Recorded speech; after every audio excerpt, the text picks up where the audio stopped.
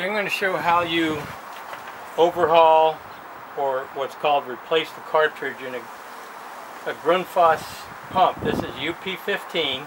It's missing the label. I'll show you that on another pump. But on this particular installation, all they had to do was turn off the power to the pump. I have some valves that can turn off the water. And then I take a 4 millimeter uh, Allen wrench and take these four screws off and then the pump comes off. I was able to lie it on the ground and replace the cartridge and put it back together. So I'm going to take you over to uh, a couple other pumps and show you the actual process because I don't want to uh, have to bleed this of air. This, this pump is in a closed loop recirculation for hot water for uh, tortoise. There are two types of pumps you'll encounter. One has a label like this. The other one has a screw in it, but they both come apart in similar fashion. So if you've got a label, you've got to take this label off. And I found you have to pry it off with a razor knife or something to get it started. But it'll pop off and you'll see a, a button like that in there. But both of them come apart the same way and I'll show that. So you take your four millimeter wrench and take off the pump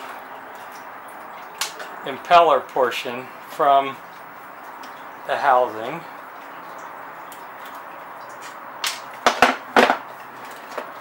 Again this is a four millimeter wrench this pump's been apart several times, so it's coming apart a lot easier than it would.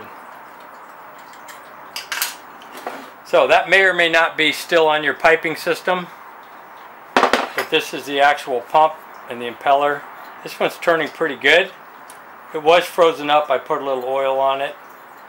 But if it continually sticks, like it'll stick if this is in a boiler system and you turn the boiler off for the whole summer and then you go turn it on again in winter, it might be stuck and you might just have to pull the pump off and spin the impeller, free it up.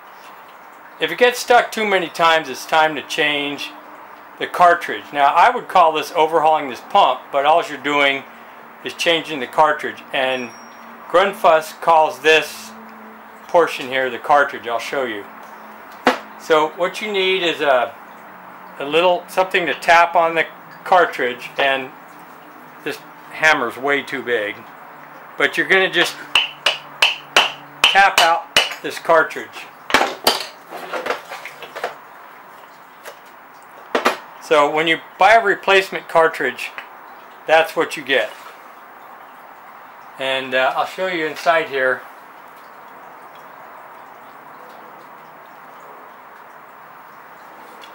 This is not the proper tool. Okay inside this cartridge is what it looks like. Uh, this is your rotor and it's on a shaft. I think it's a plain bearing in there and when it's running there's water that, that can get back in here um, through these little ports here to help cool it I found. So you might try just pulling this apart, lubricating this, putting it back together. If this is on a potable water system, then I would only lubricate it with some type of um, food safe lubricant. But anyway, when you get the cartridge, you get this whole piece. You just take it, put it back in the pump. Now, if it doesn't go in all the way, and uh,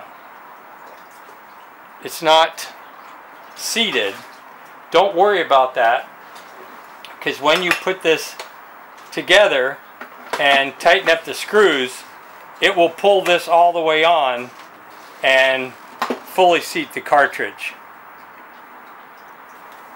So that, that's it. There's really not a whole lot to it. Now, what I'm going to do is I'm going to go ahead and post the instructions that I found online that show this process and it also shows a list of the type of cartridges based on the type of pump you have. So stay tuned for that.